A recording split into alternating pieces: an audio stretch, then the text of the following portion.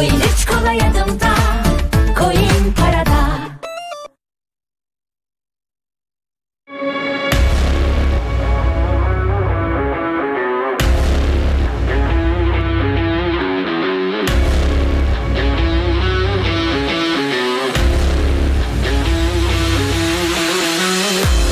Hanımlar beyler nokta başlıyor. Ya gerçekler ya sessizlik. Okan Bayülgen konuğuna hayat, iş ve gündem kümelerinden ardı ardına sorular yöneltecek. Konuğumuz yanıtlamak istemiyorsa ya da soruyu kısa kesmek istiyorsa önünde bulunan noktalayıcıyla sunucunun sesini kapatacak. Okan Bayülgen aynı kuraldan yararlanarak konuğu net ve gerçekçi yanıtlar vermiyorsa konuğun konuşmasını noktalayacak. Sunucu ve konuğu eşit şartlarda konuşacak. Bu kural konuğumuzun samimi, derin, dürüst açıklamalar yapmasını sağlayacak ve sizler alışık olmadığınız bir söyleşi izleyeceksiniz. Stüdyo hazır, söyleşenler hazır. Hanımlar beyler, nokta başlıyor. İyi geceler. Nokta'nın canlı yayın konuğu doçent doktor Emrah Safa Gürkan. Hoş geldin. Hoş bulduk. Ne güzel, güzel bir program olacak. Emrah Safa Gürkan, harikulade bir bilinç, müthiş bir zeka ve yepyeni bir tarih anlayışı. Ne kadar doğru yepyeni bir tarih anlayışı Yepyeni demem. falan değil. Ee, ben özellikle popüler olduktan sonraki yazdığım kitapları tamamen ikincil kaynaklardan yazdım ki yapılmış çalışmaları popüler ediyorum. Şimdi şöyle bir durum var. Mesela Sapiens diye bir kitap yazıldı. İçinde yeni hiçbir şey yok. Hepimizin bildiği şeyler. Güzel kitap mı? Evet güzel kitap. Her biz akademisyenler birbirimiz için yepyeni şeyler yazıyoruz ama milyonlar da dışarıda bekliyor. Böyle baktım ki onar onar bunlar kurtarılamayacak. Yani sınıfa geliyor 10 kişi falan. Geniş kitlelere de en kolay şekilde ulaştırmaya çalıştım. Başkalarının yazdıklarını hiçbiri benim değil. Benim yazdıklarım casusluk, korsanlık üzerine orijinal. Dünyada bazıları ilk kez söylenmiş şeyler ama o normal okuyucuyu ilgisini çekmiyor o kadar. Dolayısıyla yepyeni değil. Batı'da var. Türkiye'de çok değerli akademisyenler bunları biliyor ama biraz böyle şey var ya biraz böyle çekişte vurmak gerekiyor. Ee, metaforların bazen berbat olabiliyor kabul ediyorum ama. Peki burada bir sunum farkı varsa ben bunu kitaplarda görüyorum. Sultanın Korsanları bu kitap Onu roman zannediyorlar. öyle duruyor. Şimdi o kitaplar 200-300 satacakken o 20 bin casuslar 30 bin sattı ve bunların içinden 5 bin okuduysa yani şu var ya filmde de böyledir. Yani mesela e, sanat filmi kötüdür. Evet birçoğu hakikaten kötü olsun diye yapılmış ama iyisi de var. Biraz kendini zorlaması lazım. Zorlamayan geliştirmez. Şimdi şey bekliyorlar. Mesela bunu herkes bilirdi aslında metot olarak bir tarih metodu anlatan bir kitap. Ben onu biraz öyle bir formüle ettik ki hani sanki böyle plajda okunur falan gibi diye. Onun bir üstü. Ben belli bir seviyeye kadar inerim. Onun altı ölüm artık. Okuyucu da oraya çıksın. Onun için de her türlü e, quote and quote maskaralığı yapıyorum ki yeter ki millet düzgün şeye gelsin. Çünkü tıpta yaşıyoruz bunu. Hangi doktor doğru söylüyor bilmiyoruz mesela. Bir sürü insan konuşuyor. Tarihte de böyle. Genelde konuşanların içinde ben e, ortalama bir akademisyen çok az var. Ben ortalama akademisyenin üstüne henüz talip değilim. Bu, bu yaşta da olmaz zaten. 40 yaşına gireceğim 4 gün 5 gün sonra. Ee, bu yani en fazla promising youngster dediğimiz işte e, ileride şey vaat edebilecek bir jön olarak, genç olarak burada bulunabilirim. O başka bir şey. Ben dedim ki eğlenceli bir adam, eğlenceli bir kalemle insanlara dünyadaki ilmin son halini vermeye çalışacağım. Bunun için de bir public persona. Zaten ben arkadaşları eğlendirerek anlatıyordum. Bir gün arkadaşlarımdan biri burnuma kamera koydu ve öyle devam ettik. Olay evet ama aslında. bu public personanın aynı zamanda bir sunumu da var.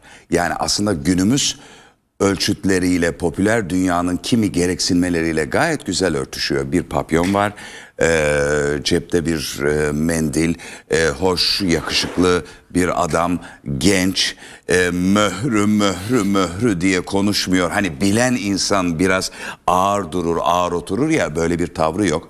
Bu açıdan insanların ilk başta çok eğlenceli buldukları, destekledikleri, sonra da yahu bu adamı her yerde görüyoruz. Mesela YouTuber olmak zorunda mı? Bu videolarda durmak zorunda mı? Ya da bak şurada da karşımıza çıktı gibi sonradan da eleştirmeye başladıkları ki ağırlıkla Ekşi Sözlük'te çok kısa bir sürede çok fazla hakkında tartışılan 200 küsür sayfadan söz ediyorum. Bunları okuduğumda Ekşi Sözlük'ün tavrı tabii ki bellidir ve ben destekliyorum. Yani başta destek olur sonra biraz kendini mi bozuyor acaba? Ama herkes kendini bozmak zorunda popüler dünyada ve sonra çok mu bozdu acaba? Hadi onu biraz daha destekleyelim ya da daha çok gömelim gibi bir tavırdır bu.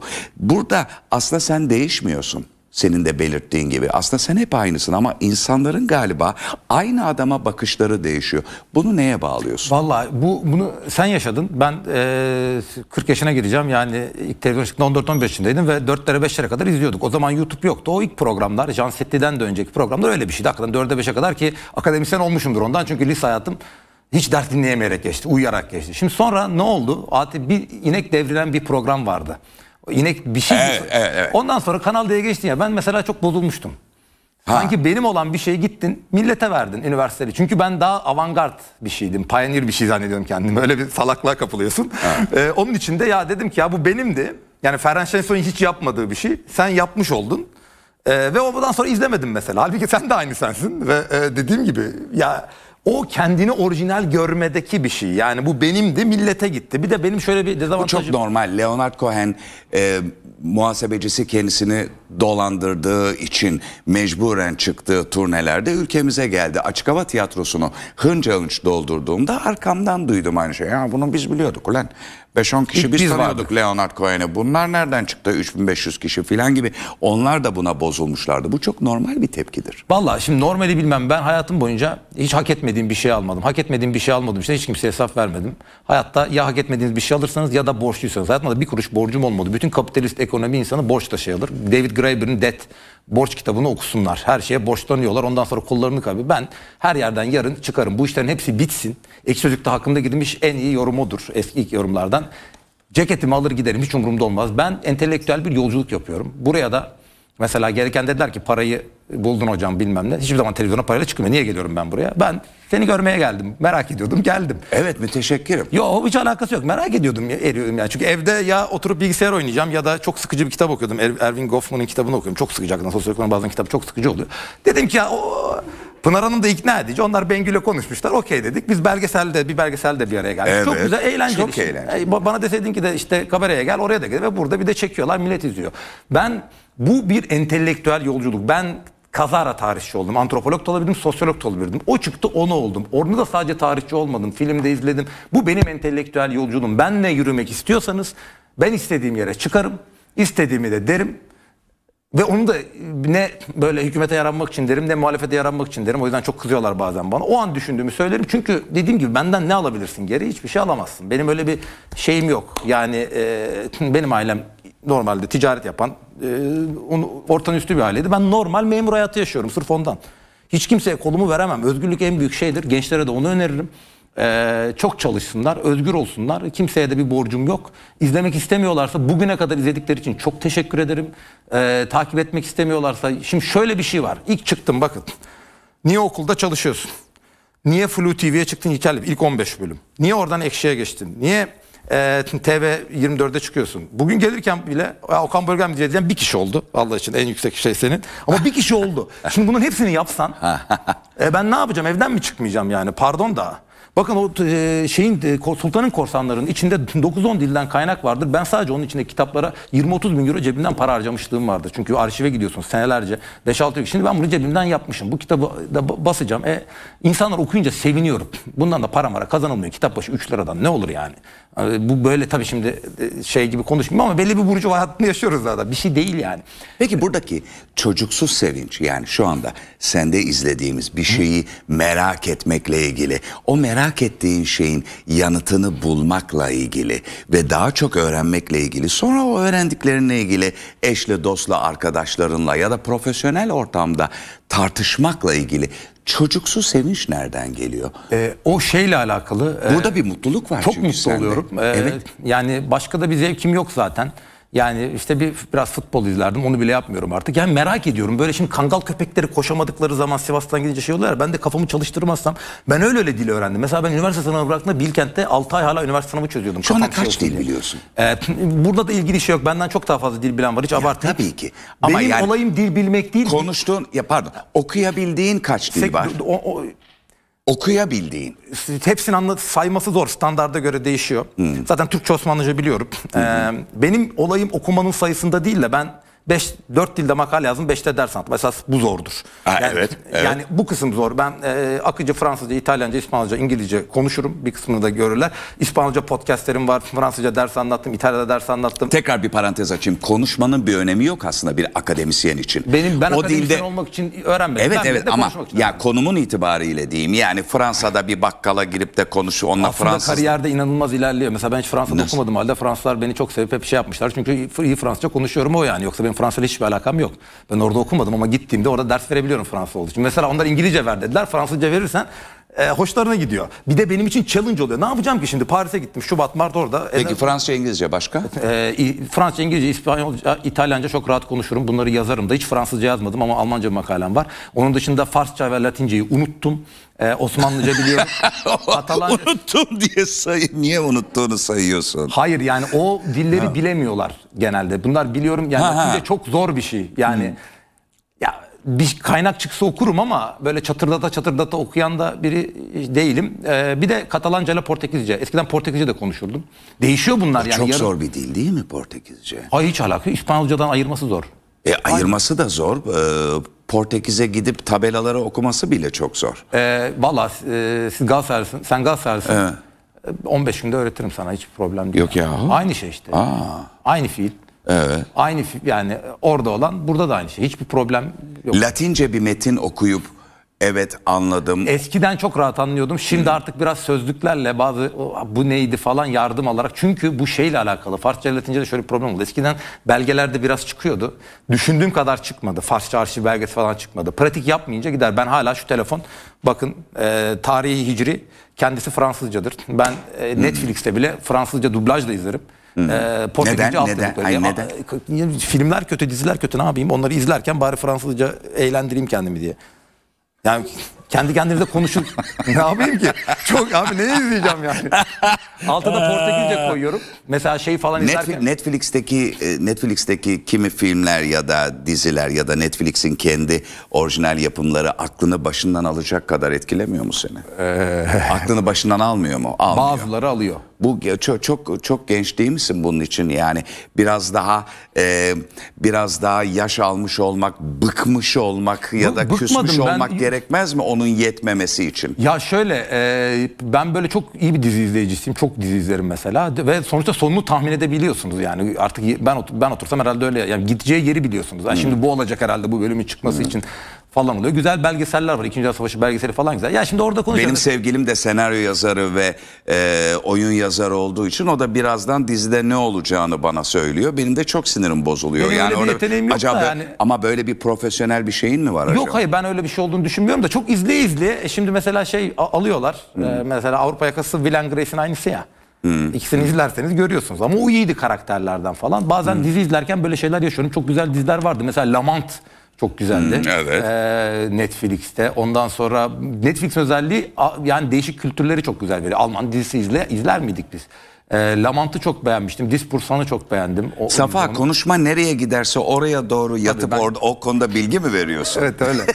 Aklıma ya şunu, şunu anlamıyorlar. Ben konuşurken Nereye doğru giderse oraya doğru gidiyorsun yani. ben konuşurken Konu- ben konuşurken sizle duyuyorum ne dediğimi. Yani böyle nota gibi düşünün. Mesela R'den gireceğim diyorum. Çıkarken düşünüyorum. Çok tehlikeli aslında benim. Bu nereden çıktı biliyor musunuz? Hayır Netflix'te dizi tavsiye etmeye başladık yani. Evet yani Pekala. yani aklıma Pekala. Hayır, şimdi- yani tamam. Subjektif Ee, yorum yapmayayım dedim. Harikasın. Peki. Ben o zaman e, hızla e, başrolde Amerika Birleşik Devletleri'nin Evet, olduğu e, ve e, senin bilgilerinden, yorumlarından ve görüşlerinden yararlanmak istediğimiz soruları hızla hızla soracağım. E, çok uzatırsan e, seni noktalayıcıyla noktalayacağım. Ben uzatırsam lütfen sen de aynı şeyi yap. Hemen başlıyorum. Amerika Birleşik Devletleri'nde 6 Ocak'ta gerçekleşen ve kanlı kongre baskını olarak tarihteki yerini alan olayların sebepleri aslında ne olabilir? Amerika Birleşik Devletleri'nin demokrasisine vurulan bir darbe olarak görülen bu olayları nasıl değerlendiriyorsun? Bence Amerikan demokrasisinin sağlamlığını gösteriyor. Demokrasi insanların demokrasiye inanması değil, demokrasiye inanmadığı yerde bile kurumların demokrasiyi ayakta tutması. Ne dedim ben de tam takip edemedim ama şunu demek istiyorum. İsyansız demokrasi olmaz. Bir isyan çıkar. Onun sonunda 3. Napolyon gibi, Adolf Hitler gibi ya da işte Şili'de Fujimori vardı. O tip adamlar ya iktidara gelir ya gelemez. Trump Fujimori gibi bir adamdı. Autogolpe dediğimiz bir şey. Kendi kendine darbe e, yapmayı deniyordu. Başarısı oldu. Bunun başarısı olması Amerikan demokrasi için iyidir. Ama am- ben Amerika'da tam da Washington DC'de yaşadım. Benim evime çok yakındı e, o- o- olan yer. Şimdi şöyle bir şey var. Amerika göçmen topluluğu. Göçmenlere eyvallah diyen toplumlar ekonomik kriz dönemlerinde onlara karşı dönerler. Artık Amerika'da beyaz olmanın bir e, şeyi yok, avantajı yok. Aynı 1920'ler Almanya'sında gibi. O zaman o kadar çok göçmen yer değiştirme oluyordu ki o Avrupa'da sağı çıkarmıştı. Çünkü adam ben 5 kuşaktır almanın benim bir avantajım olması gerekiyor diye düşünüyor. Amerika'da böyle alttan bir dalga var. Yani beyaz olmanın esprisi yok. Yani göçmen olsan Amerika'da daha iyi. Şimdi bu beyazlar kendilerini uzun süredir Amerikalı sayıyor. 10 sene önce gelmiş adam lüks içinde yaşıyor gibi görüyor. Ve kendisi sürekli Amerikalılık yani sürekli böyle anlayış, tolerans, molerans bu biraz böyle daha alfa bir, Bir de mesaja- elinde İncil'le Trump fotoğrafını getir gözünün önüne göre. Evet, yani çok- Ya burada evangelistler bilmem neler falan bir de böyle bir şey var Bir de galiba. iki tane mesela Prohibition diye de bir belgesel var. Onu da mutlaka izlesinler Ken Loach'un. Orada da anlatır. iki tane Amerika vardır. Biri o içki yasağında şey yapan e, bizim e, ofisteki Dwight Schrute'la söylediğimiz ya da e, böyle bazı filmlerde siyah giyinen çok püriten bugün evangelistlere dönüşen öyle bir din, dindar ve dinci bir Amerika. Bir de New York'taki gibi çok kozmopolit. Şimdi o ikinci Amerika'yı görüyoruz biz. Hani La France Profonde diye bir şey vardır ya esas şey Fransası diye böyle taşra Fransa. Onun Amerikan versiyonu La France Profonde gibi değil yani. Bunlar çok daha ben Wyoming'de de yaşadım. Bunlar çok iyi insanlar olur. Hepsi sarı saçlı, mavi gözlü iyi insanlar. Çok e, eğlencelidirler ama çok e, dünyaya kapalı yaşarlar. Özellikle bu şey dizilerde falan çok rahat görebilirsiniz. Böyle Amerikan kasabalarında böyle cahil insanlar vardır ya yani. Özellikle Netflix'in crime dizileri, yeni Evet, crime dizileri hep onların işlediği cinayetleri anlatıyor. Evet. Aslında iyi aile babası, iyi eş ya da şudur budur ama çocuklarını kesen, e, birbirlerini öldüren, karılarını öldüren ya da kocalarını öldüren tipler. Yani birçok aslında dünyada bu crime, cinayet neredeyse pornografisi diyebileceğim aslında e, dijital platformlarda da gösterilen bunlarda aslında çok saygı gören, iyi tüccar, iyi vatandaş, işte belediye başkanından bilmem ne onuru belgesi almış tiplerin sonradan nasıl seri katiller filan olduğu ortaya çıkıyor ya da nasıl çocuk tacizine varan çirkin işlerin içinde olduğu ortaya çıkıyor Mesela aslında. Türkiye'de hapis oranı e, Yani öyle öyle sınıflamak istediğim Ya için an- değil aslında. Bu kadar pürüpak olanların da bunları var demek anlamında Tabii söylüyorum. Amerika'da 2.8 milyon bir şey var. Amerika'da binde 7 oran. Bizde binde 2 mesela. Çok suçlu var Amerika'da. Bir de her şey için içeri atıyorlar yani. Evet Ee, ve her şey için içeri atıyorlar. bir hukuk var. Bir de onun dışında böyle bir paralel dünya var. Gene bu şey dizisi var. Aslında çok suçlu olmasının e, suçları yakalamalarıyla yakalamalarıyla alakası. alakaları Tabii. var. Evet. Onu o yüzden hemen geri çektim. Çekmek istiyorum ben de. Doğru. Peki e, eski Amerika Birleşik Devletleri Başkanı George W. Bush olaylar sonrasında muz cumhuriyeti benzetmesini yaptı. Barack Obama utanç anı olarak hatırlayacağız dedi. Yeni başkan Biden da olayları kalkışma olarak nitelendirdi. Iraklı bir milletvekili de Amerika Birleşik Devletleri dünya başarılı bir demokrasi modeli olarak bilirdi. Ama tanık olduklarımız kaos, kongre üyelerine saldırı ve yağmalama, üçüncü dünya ülkeleri gibi yorumunu yaptı. Bu olaylar Amerika'da ve diğer ülkelerde demokrasi kavramının yeniden gözden geçirilmesine neden olacak mı? Ee, Iraklı milletvekilinden iyi kimse bilemez 3. Dünya herkesin. O yüzden dediği doğru. Fakat şöyle bir şey var ya 1920 Almanyası, Weimar Al- Almanyası, o Bauhaus'ların olduğu Almanya'da faşizm çıktı ya. Bu bir hikaye yani. Halklar, insanlar kötülüğe, hoşgörüsüzlüğe, ırkçılığa otomatik olarak, evrimsel olarak Robin Dunbar okusunlar, elverişli bütün evrimsel psikologlar söylüyor. Sistem insanların iyi niyeti üzerinde durmaz. Bu doğal bir olaydır. Buradaki hata DC polisinin hatasıdır. Onun dışında bu olaya rağmen Trump'ın başarısız olması Amerikan demokrasisinin gücü idadı Montesquieu işte der esprit de loi kuralların hu- hukukun ruhu. Yani o güçler ayrılığını güzel. Yani tam tersi düşünüyorum ben. Yani demokrasi şık poz vermek değil. Zaten bu tip Peki yer- insanların gözü neyi aradı da görmedi? Yani oradaki kongreyi basan tiplerin karikatür halleri, komik halleri, giysileri, içeriye belki de polisin göz yumması neticesinde çok rahat girmiş olmaları, bir anda bütün Amerikan filmlerinden hatırladığımız o FBI'larının ya da kimi kolluk güçlerinin ortaya çıkmamış olması filan ve bir anda e, bir sahra senatosu basılmış gibi bir e, görüntü ortaya Orada çıktı. iki tane şey var. Birincisi polisin açık ırkçılığı var. Ben dediğim gibi çok yani Ama çok kırılgan komedi bir şey izlemedik mi? K- komik ama bu mesela ünlüler oluyor ya çıkarken bir yerden Okan Bey bilmem ne diye şey çekip ondan sonra neden bana yapmıyorlar onu size yapıyorlar çünkü sana yapıyorlar çünkü senin o pozisyona düşmen güzel ya ünlü olduğun için Amerika'da öyle yani Amerika'nın o pozisyona düşmesi ya o 14F diye bir şey var askerler 1981'de bir tarihçiler için şey de İspanya parlamentosunu basmıştı. Evet, hatırlıyorum. Evet, hatırlarsın E, şimdi o, Sen o da yeni komikti. doğmuştun. Tabii ben o zaman 3 aylıktım. Evet. E, ben hatırlamıyorum. Ben hatırlıyorum. Ama tarihçiler olarak öyle anlatmıyoruz tabii. Evet, TRT'mizden TRT'mizden izlemiştik hakikaten bir tane. 23F mi 14F mi ne onun adı? Çok Evet. güzel oluyor. E İşte Fransa'da Sarkozy'nin yaptığı bir sürü Ve şey elinde var. bir tek bir tek Tabii, tabancayla bastı tabii, tabii. adam. E, Charlie Hebdo olayı var. O da maskaralık Charlie değil mi? Hebdo, evet. Oluyor yani. Bu O olur. çok acı, evet. Bu böyle ya biz tatil köyünde yaşamıyoruz ya. Böyle anladı insanlar. Yani demokrasi bize verildi. e, para bize verildi. Ekonomik kriz olmayacak, salgın olmayacak. Öyle bir şey yok. Ne demek Olmayacak. istiyorsun? Aslında tatil köyü gibi bir görüntüydü aslında kongre, Ha, ha, e, şey, evet görüntü. ya o kısım öyle de hani insanlar bu hayattaki kazanımların kazanıldığını anlamaları lazım.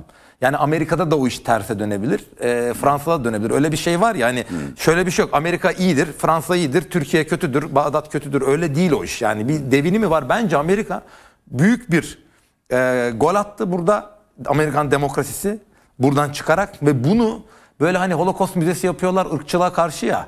Yani mesela o kötü anı müze yaparak e, tam tersi bir yere işletiyorlar ya. Şimdi bunun üstünde vuruna balaya Trump'ın üstüne tepinip bu e, Batı ve benim minor'ım ve siyaset bilimden geldiğim için minor'ım da siyaset felsefesiydi. Şimdi siyaset felsefesinin bir tane konusu vardır en temel. Nasıl popüler diktatörlerin eline düşmeyiz. Mesela bizde hiç yoktur o. Hiç öyle bir şey yok. Yani nasıl bir kişinin eline düşmeyiz. İşte Sezar da budur. Üçüncü Napolyon da budur. Şimdi buna karşı bir sınav verdi Amerika. Bence başarılı. Ee, insanlar da Amerika'ya o hale düşmek yani. Çünkü yurt dışında bir sürü yaptığı şey var. Hoşlarına gidiyor. Bence bu. Peki aynı konuda devam ediyorum. Kongre binası baskınından yansıyan görüntülerde dikkat çeken bir kişi vardı. Boynuzlu ve kürklü kostümüyle baskının sembolü haline dönüşen Jack Angeli. Amerikan tarihinde tam olarak neyi ve kimleri temsil ediyor? Komplo şamanları, e, kom- komplo şamanları, şamanları düzeltiyorum olarak adlandırılmalarının da nedeni ne? Valla bunların şeyi e, aynı bizde de var bu durum. Şimdi e, çok fazla sayıda insan siyasete dahil olunca ve gerekli şimdi burjuva işleri vardı ya ilim de bunlardan biri. Mesela şimdi herkes bilimle ilgili bir sürü komplo teorisi duyuyorsunuz değil mi? Niye? Herkes bilim adamı oldu. Bu liberal çağda elit kalmadı. Elit kalmayınca herkes her şeyi konuşunca herkes her konu hakkında fikir sahibi olunca işte böyle sonuçlar da çıkabiliyor. Hani buna Ne demek karşı- elit kalmadı? Şimdi mesela şunu bilemiyorsunuz ya bana bir şey mesela ben doçent Sosyal doktorum. medya yüzünden mi? Sosyal medya yüzünden bir de para girdi işin içine. Bakın her zaman söylüyorum şimdi 1950'de olalım. Ee, bir general, bir profesör, bir e, büyükelçi, bir de iş adamı. Bunların maaşlarının arasındaki rasyo 1'e 2, 1'e 3'tür değil mi? Şimdi 1'e 50 olmuş. Dolayısıyla ne oldu? Artık yani par- bu özel sektörün kazandığı para, bunun aldığı statü araç şeyleri biz sadece zengin olduğu için saygı duyduğumuz, fikrine saygı duyduğumuz insanlar var. Şey hatırlayın. Ya mesela sanatçıdan politik şey bekliyor adam değil mi? Halbuki onun konusu değil. Yani kimin hangi konuda konuştuğu biraz artık belli değil. Mesela bir e, söz yazarının anayasayla ilgili söylediği şey 2011'de e, ya da bir e, pop sanatçısının önemli olabiliyordu. Kim ne konuşuyor belli değil. Yani ben de tıp konuşabilirim. Dolayısıyla normal halkta da böyle bir şey var. Herkesin her konuda yani bana sürekli Twitter'da ödev veriyorlar. Şu kitaba bak öyle gel falan diyorlar. Ekşi'de yazıyordu. Şu şu okuma vermiş bir tanesi. 10 kitaplık okuma listesi vermiş. E bir başka programa çıktım. Orada biri dedi bana bu kitapta yanlış yazmışsınız dedi. Oho yani şimdi benim uzmanlık alanımda şu e, Sultanın Korsanları'ndaki o dedi yanlış dedi. Şimdi e ne diyeceksiniz? Güzellikle geçiştirdiniz. Öyle bir ortamda herkesin fikri var. Bunlara işte e, lümpen proletarya dediğimiz e, ondan sonra e, normalde normal şeyde de 1519-20'deki Alman e, köy ayaklanmasında da bunları görebilirsiniz. Celal isyanlarını da görebilirsiniz. Bu tarım toplumunun arada fırtlattığı şeylerdir. Bunları altta tutmanız lazım. Yani bundan bir şey olmaz. Ha, bununla çok güzel bara gidilir, arkadaşlık yapılır. Böyle yani benim var böyle arkadaşım. Aynı böyle. Ama kongre basmıyorlar. Ama kongre basmıyorum yani. Hayır bir de şöyle bir şey var. Georgetown kütüphanede kartınızı unutun. Bir tane kadın vardı orada Jamaikalı. Bütün gün oturur. Almaz içeri. Ya kart içeride kaldı. Yok bize şey getir. Ya şurada kart var. Alamam gidip e, başkasının kartını alıp girerdik. Öyle kurallar ülkesinden. Ya böyle bir şey olabiliyorsa ben, ben de yapmak isterdim bunu 10 sene önce. Ben, Evet. ben stop sign'da durmadım diye bütün 2000 dolar ödemişimdir toplamda. Bir türlü duramıyordum orada. Bu muydu yani? Bu aslında tam bir şey. Karnavallar öyledir ya role inversion denir. Rollerin tersi. Şimdi Avrupa'da şöyle bir şey var. Çok katı bir hiyerarşi var ya. Orta çağda ve daha sonraki dönemlerde karnaval diye bir şey var. Karnavalda şu olur. Zenginler fakirlerle dalga geçir. Fakir gibi giyinir, fakirler zenginler gibi giyinir. İşte papayla dalga geçilir. Birkaç 3-5 e, saatliğine ya da birkaç günlüğüne toplumsal hiyerarşi tersine çevrilir. Evet. Ki gaz böyle hani Evet. aslında o da bir toplumun seks yapması gibi bir şey. Burada da o oluyor şu anda bu toplumu. Yani toplumun en alt kesimini My Name is Earl'de gördüğümüz kesimi en aptal haliyle görüyoruz. Yani Bizim tarihimizde bu alışkanlığımız yok galiba değil mi? o ekşi sözlük var işte. Ha, e- evet bravo. Çok güzel tanım. Ben hiç de Çok benim güzel hakkımda tanım. yazılanlara dair ben de ekşi sözlük yazarıyım. Ee, kendi yazdıklarımı tek tek silerken fark ettim bir şeyi bir şey yazmamışım. Herkese geçirmişim. O rahatlama mekanizması. Hiçbir yerde konuşturmuyoruz ki çocuğu. Evet. Ve bazen oradan ben o kadar çok söylüyorum ki bazı hakikaten çok yetenekli adamlar da var. Şimdi adam çıkamıyor buralardan. Ya ben kendi şeyinden söyleyeyim. YouTube'a gelene kadar televizyon programlarına gidiyorum. Şimdi böyle konuşuyoruz ya. ikna edene kadar canım çıkıyordu. Ya beni bir üç kişiyle almıyor. iki kişi daha koyuyorlar yanıma. Mıy mıy bir- olmuyor yani. Ben ekşi sözlükle ilgili yapılan şu eleştiriyi de hiç anlamıyorum.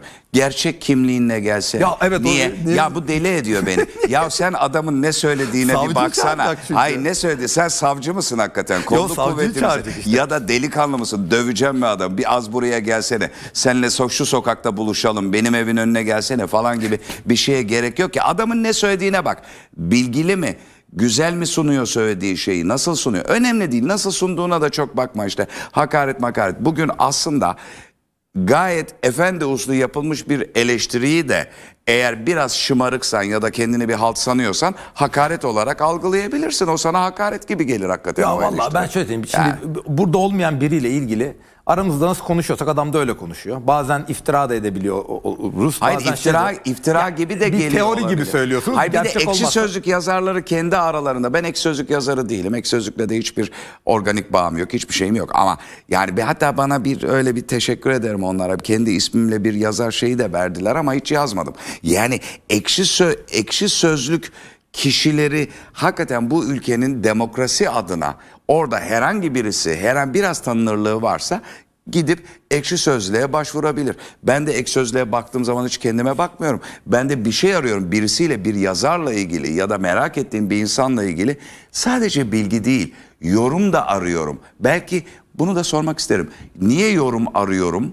Niye düz bilgi aramıyorum? Belki e, okul çağından itibaren düz bilgiden sıkılmışızdır, fenalık gelmiştir. Belki de bir bilen, bir hisseden, bir gözlemleyenin o konudaki fikrini merak ediyoruzdur. İşte o yorumları ekşi sözlükte bulabiliyorsun. Filan yazar, filan sporcu ya da filan gitarist hakkında. Ve beni çok mutlu Ben ediyor. şunu kabul ettim. Şimdi şöyle kamera çekiyor normalde beni. Şimdi siz yüz binlerce eve ben gireceğim diyorsanız yüz binlerce insanın sizden bağımsız bir kanaati olacak. Evet. Yani hem yokuş yukarı hem yokuş yukarı ineceğim hem 25 kuruş vereceğim hem şoför yanında oturacağım diye bir şey yok. Şimdi sen çıkıyorsan ben abi anlatacak bir derdim var. Benim bir yolculuğum var. Ne kadar egoist bir şey. Bunu hadi paylaşalım. O zaman o adam küfür de eder, hakaret de eder. Hiç benim umurumda olmaz. Çünkü ben şunu biliyorum. Ben de kendi evimde biriyle ilgili konuşacağım. Ama Okan da bu- ben de söylüyorum. Dersin Belki de küfür tabii. ediyorum. Ya dersin diye herkes diyor. Demeyen Çok mi da tatlıdır Türkiye'nin en büyük. Türkiye'nin en büyük problemi. Mesela bir konuda linç ediyor ya. Şimdi linç eden adama bakıyorum. Ya aynı şeyi kendi yapıyor biliyorum arkadaşım. Allah Allah. Ya mesela ba- bazı konular oluyor erkekler bilinçler çekiyor orada. Ya abi yani hiç mi hiç mi biz birbirimizi bilmiyoruz. Bu böyle olur mu efendim falan. Böyle değil. Ee, dediğim gibi bu benim yolculuğum olduğu için içinde tutarsız. Birazdan soracağım zaten o politikli korrekt dünya ile ilgili. Tekrar Amerika'dan devam ediyorum. Biden'ın kongre baskını ABD tarihinin en karanlık günüdür açıklaması doğru mu? Yoksa ABD başka karanlık günlerde yaşadı mı? Valla çok yaşadı ABD'nin en karanlık günlerinden biri. Son bildikleri işte bu İngilizlerin e, kongreyi yakmaları 200 küsür yıl önce. Ha yani evet olabilir ama bence Watergate bundan daha büyük bir skandaldı. Çünkü şuursuz insanların kontrolden çıkmasından çok daha büyük bir suç vardı orada. Ee, gene Homeland, Homeland Security'nin yaptığı bir sürü şey zamanında inanılmaz bence daha kendi demokrasi açısından problemli Guantanamo'su çok çok daha bence kara bir Evet, gün. Ee, yani e, bence biz bak şöyle okuyamıyoruz. Sistemi bilmediğimiz için mesela Amerika tarihin en önemli kararlarından biri antitrust yasalarıdır. Aslında başka karanlık olaylar da var. Örnekse e, oğul Bush'un, W. Bush'un e, iktidara geliş hikayesi, o seçim Tabii, sonuçları. O evet, o Trump'ın iddia ettiklerinden çok daha ciddi iddialar vardı orada. Tabii hem de ya bir de mesela Amerika'nın en iyi olaylarından, Amerika'yı kurtaran olaylarından biri ne dersiniz bana tarihçi olarak? Rockefeller'ın bölünmesi antitrust davaları. Mesela bu son derece önemli bir şey gösterir. Mesela bizde mahkemeler ne yapıyor? Orada ne yapıyor? Adam orada şeyi şirketi denetlemiş. Bakın ne kadar kapitalist bir kurum. Mesela Amerika'yı çok kurtaran bir şeydir o. Rekabeti ön plana attığı için. Biliyorsunuz Rockefeller'in bütün şirketlerini 200'e falan böldüler 1910'larda. Şimdi nasıl okuduğunuza bakar. Yani bu sembolik olarak çok kötü gözüküyor. Ama hep böyle çok hani yemeğin ilk kokusu gibi tadıyla ilgili fikir vermiyor olabilir. Ee, dolayısıyla ben çok daha kara günlerin olduğunu e, düşünüyorum. Şey yani Martin Luther King'in öldürülmesi. Evet. Bence çok daha Kennedy'nin, Kennedy'nin öldürülmesi. Ama yani Kennedy gene başkan hani. İç darbelerle dolu bir tarih aslında. Ya, Komplo evet. teorilerine girmek Yok zorunda o da kalırız yok ama. hayır hayır komplo teorisi bu. Evet yani başkan Bu uç- bir de bu uçaklar sadece başkanlar binince düşüyor ya mesela onun gibi Polonya. Evet, yani evet. o kadar da değil. Komplo teorisinin çok kalitesi var ama hani hiç de bir şey yok değil. Komplo teorisi e, e, hikayesine, kavramına nasıl bakıyorsun? Şimdi komplo teorileri şimdi şöyle tarih sakarlıklarla doludur ve aptal insanlarla doludur. İnsanlar aptal oldukları için yaptıkları şeyleri geriye dönük mantıkla açıklayamazsınız. Her şey mükemmel işliyor olsaydı paşa paşa Roma İmparatorluğu'nda yaşıyor olurduk. Koskoca Çin ya darma duman oldu yani. Bir sürü hata yapılabilir. Bakın şöyle söyleyeyim. Ee, yüz, Çinliler 60 yıl Batılılardan dayak yediler. Batı Kohu çıkardı, Pasteur'ü çıkardı falan. Çin'de yönetenler Konfüçyüs üzerine makaleler yazarak seçilen bürokratlardı. 1911 itibariyle. Bu kadar aptalca bir sistem. Şimdi bakıyorsun normalde bilgisayar oynuyorsan bu adam ya bu kadar aptalca bir şey olabilir mi? Öteki tarafta adam şeyi bulmuş yani 1911 olmuş. Henry Ford çıkmış, Taylorizm çıkmış, çıkmış oğlu çıkmış. Bilim her gün bir şey oluyor. E, Çin'e bakıyorsun. Ya Çin ilk 1860'da ilk yapılan e, tren yolunu söktü biliyor musunuz? Para devlet para verip tren yolunu söktü. Bunda e, dış güçler içerilere girer diye. Şimdi aptalca mı? Aptalca. Yapacak bir şey yok. Bazen de aptalcadır. Bazen olmaz, bazen aptalcadır. Buradan dolayı komplo teorileri e, geriye dönük mükemmel mantık aradıkları için mühendis kafasıyla çalıştığı için geçersizdir. Çünkü tarih oda sıcaklığında olmaz. O başka bir şey ama hiç de kötü oyun dönmüyor diye bir şey yok. Hangisi döner onu bilmek zor tabii. Yani her dediğim gibi hani bütün dünyayı beş aile yönetiyormuş ya. Yani öyle bir şey yok. Yani Yönetmiyor mu yani? yani bilmiyorum dünyayı 5 aile yönetiyorsa burada bana bunu söyletecek kadar Pap, bunu papyonlu bir adamdan öğrenemezsiniz yani burada. Böyle İstanbul Spor formalı bir adamdan.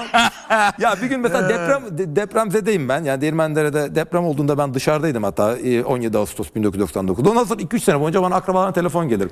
Derince Emniyet Müdürü'nün yardımcısının bilmem nesi şey yapmış. Şimdi onu artık tiye alıyorlar ya. Deprem olacakmış İsrailler bilmem ne. Ya abi bunu Derince Emniyet Müdürü'nün yardımcısı bile biliyorsa bu nasıl bir İsrail komplosudur ya. İsrail böyle mi kurdu bu devleti? Yani biraz kafayı çalıştırsak oradan o çıkacak ama.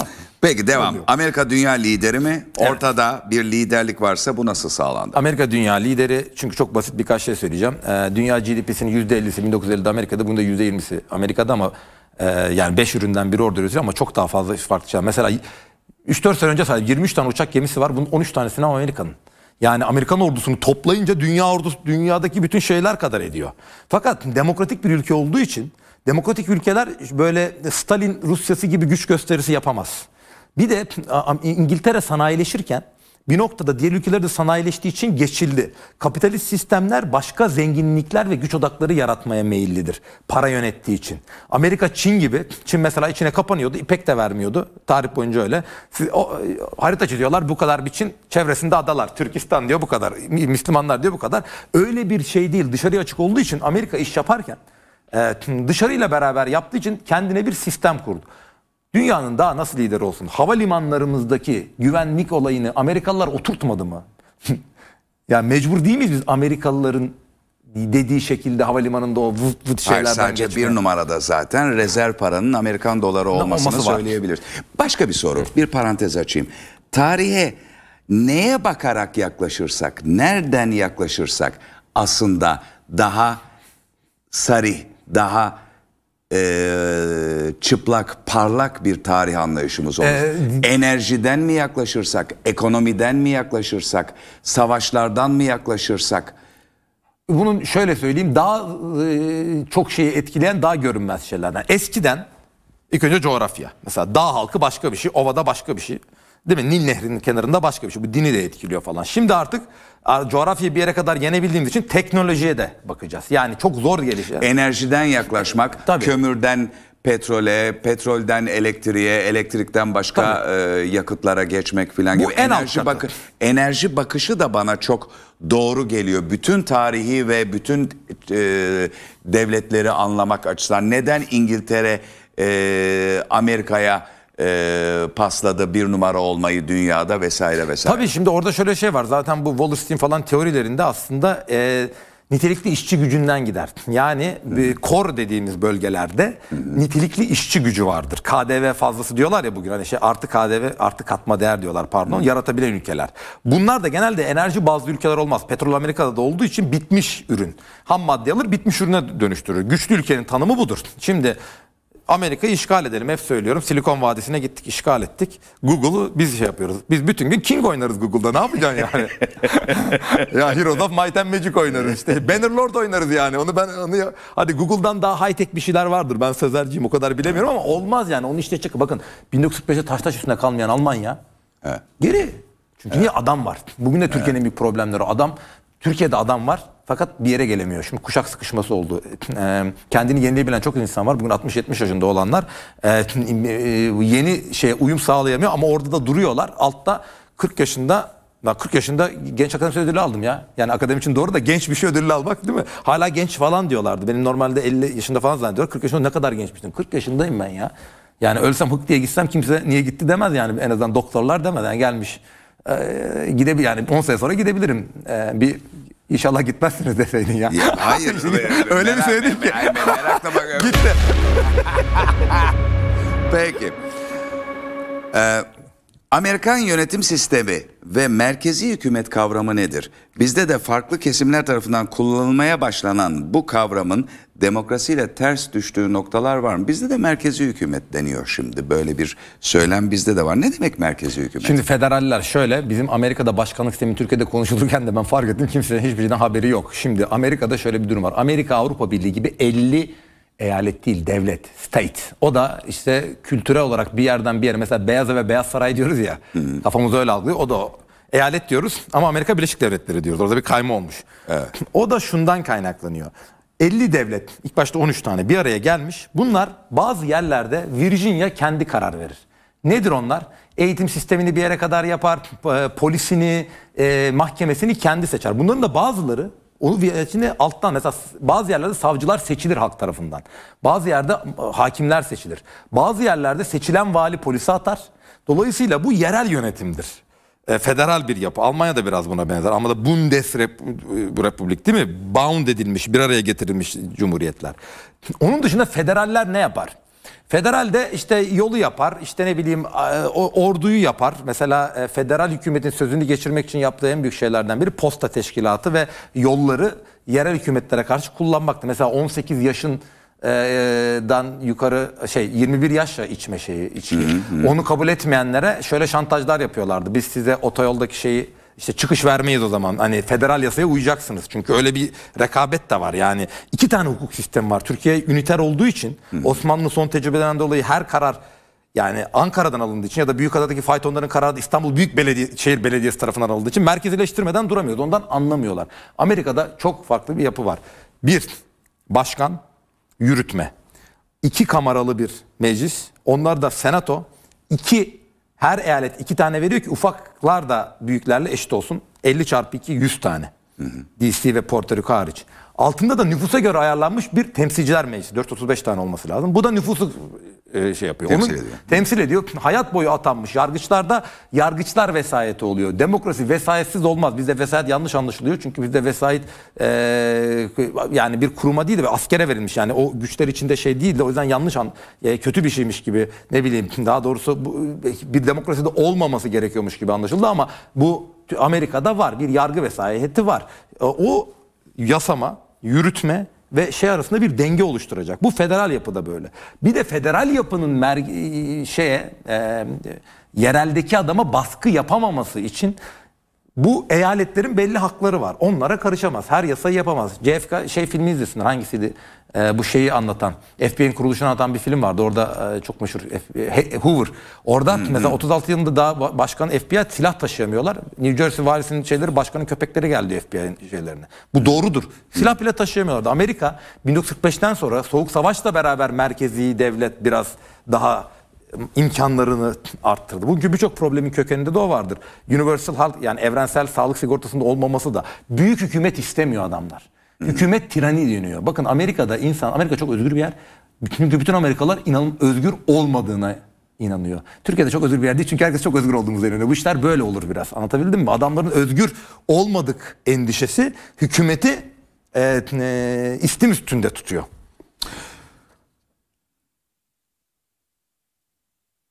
Ee, şu soruyu atlayayım mı diye düşünüyorum. Peki. Twitter Ben- yönetimi olaylardan sonra Amerika Birleşik Devletleri Başkanı Trump'ın hesabını askıya aldı. Twitter'la Trump arasında soğuk savaş uzun bir süredir devam ediyor. Trump'ın sosyal medyada manipülasyona neden olduğu gerekçesiyle engellenmesini nasıl değerlendiriyorsun? Kendi platformunu kurmaya hazırlanan Trump'ın başkanlık seçimleriyle ilgili bu çabaları nasıl sonuçlanacak? Şimdi bu teknik özel bu örnek üzerinde doğru gibi duruyor ilk başta. Ama sistemik bakarsak yanlış. Çünkü şu var.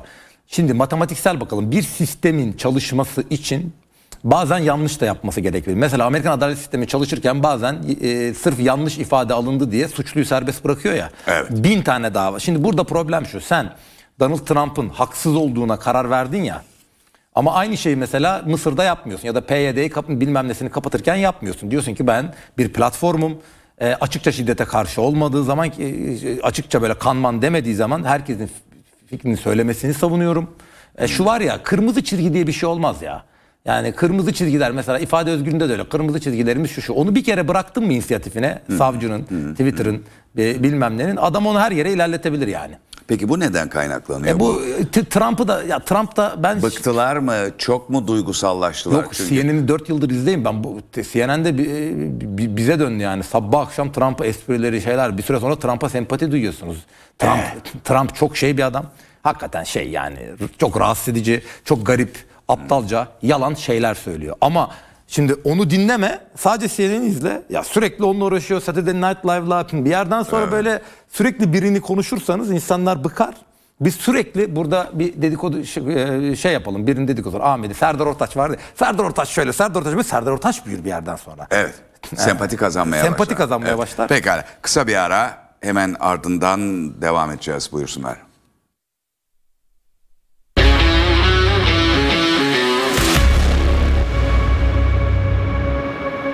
Bitcoin üç kolay adımda Coin parada. Bitcoin üç kolay adımda Coin parada.